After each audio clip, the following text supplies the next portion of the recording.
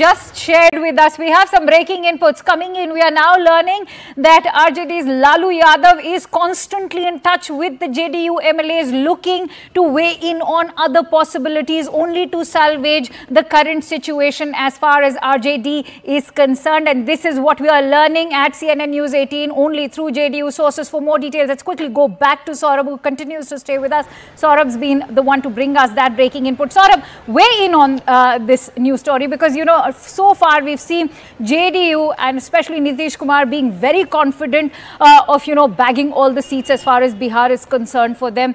How does RJD now place itself in the picture?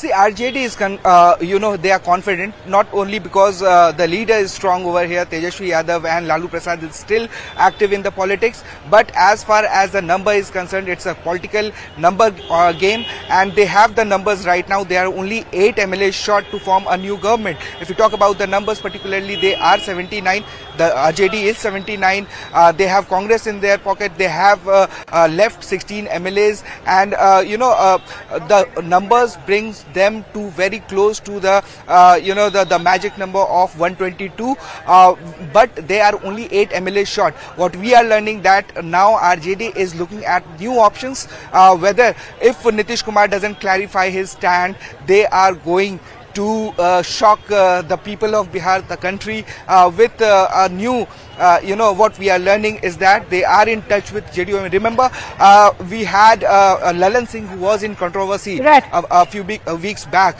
where he was earlier uh, JDU president, uh, but all of a sudden a meeting was called and he was removed from the post of, you know, JDU president. And then again, all his close confidant were also removed from the working committee of JDU. So this was a clear indication that something was going on within all right uh, that, those are some uh, very uh, interesting points that you've made, Saurabh. Continue to stay with us because I'm also joined in by Aman from the newsroom. Aman, weigh in on the numbers that have just been shared by Saurabh. He's made some very valid points over there. How crucial is it for JDU right now to protect their existing numbers? Well, of course, you know, it is very important for JDU to protect its numbers. For to RJD to get JDU numbers, there's anti-defection law as well. So, you know, they need to wean away a significant number of JDU MLAs. I think that is looks a bit difficult and mm. perhaps this is the situation why uh, we saw Mr. Nitish Kumar replace Lalan Singh and become himself the party president just a, a, couple of weeks back. This was done because Nitish Kumar was suspecting that Lalan Singh was getting very close to the RJD and maybe a coup could happen. So I think this is what Nitish Kumar's calculations were and we saw that uh, change happen a few weeks back. Uh, that will be, I think RJD, you know, obviously will try to save the government. You know, last time they could not when uh, Nitish went towards the BJP side, but this time time they might try to save their government by doing this, but I'm not very sure that no, you they know, can be doing It's very interesting that you say that that this time uh, could be different, and which is why I want to ask you, how could this time be different when you know they've already failed once last time? Yeah, this, this time you know also because the Lok Sabha election Akanksha is very near. You know there is this because Bihar is a very very key state. You know in Bihar, if Nitish Kumar goes to RJD, a major pillar of the India alliance is going to fall. We already seen what's happened with right. Mamata Banerjee.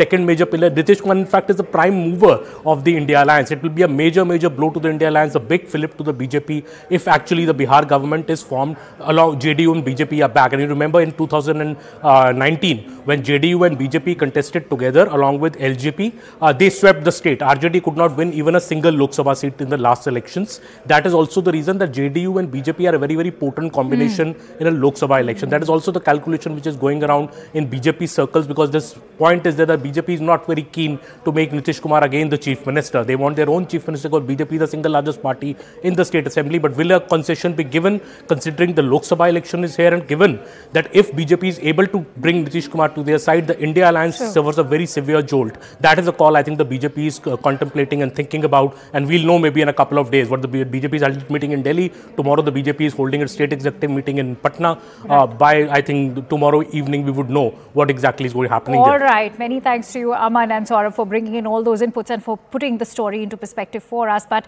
for now, let's also play out the kind of reactions that are coming in from Bihar. Uh, let's start with former Deputy CM of the state.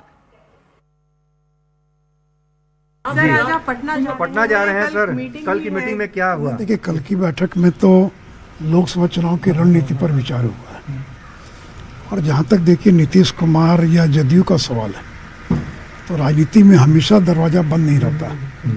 जो। दरवाज़ा बंद रहता आवश्यकता पड़ने पर खुल भी सकता है। अब खुलेगा कि नहीं खुलेगा क्या होगा ये मैं नहीं कह सकता हूँ।